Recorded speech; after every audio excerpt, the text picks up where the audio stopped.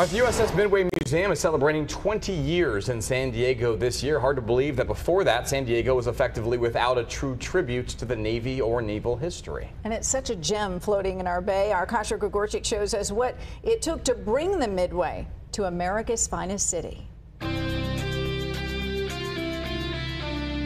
San Diego is the birthplace of naval aviation, the original home of Top Gun, Navytown, USA. San Diegans and visitors alike wouldn't recognize the Bayfront today without this iconic ship that greets them on the water.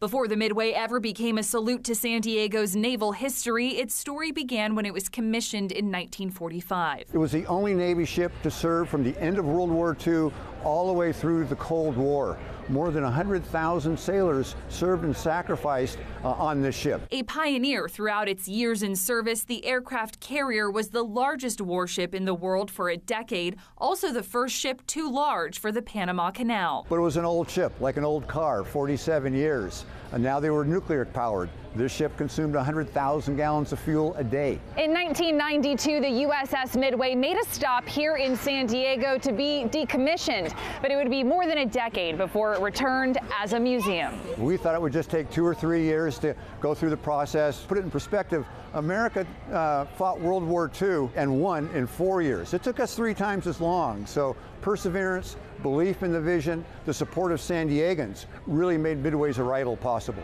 While still waiting for the ship, people like Rudy Shappee were hard at work inside Hangar 805 at NAS North Island for two years, restoring aircraft to eventually show on the flight deck. I began working on my first airplane. As a matter of fact, this is one of them right here behind me. When the Midway docked in its new home January 2004, there was still a lot of work to do. What we needed was to restore this giant chunk of metal uh, and, and make it ready for an audience. In just six months, the floating museum was ready for visitors, opening in June. Co founders like Scott McGaugh say even the Navy had its doubts, but the ship has continued to trailblaze. We were profitable the first month.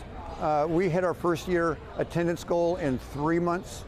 Uh, we became the most visited ship museum in the world in three years. As the 20th anniversary nears, there is ongoing restoration and dozens of exhibits constantly being reimagined. Those who were there for the many chapters of the Midway can confidently say it has a proud past as a warship and a lasting future as a museum. When I think about what, are, what footprints have you left in this world when you departed, this is one of my major accomplishments. This is our gift to the nation. Kasia Gregorczyk, Fox 5 News.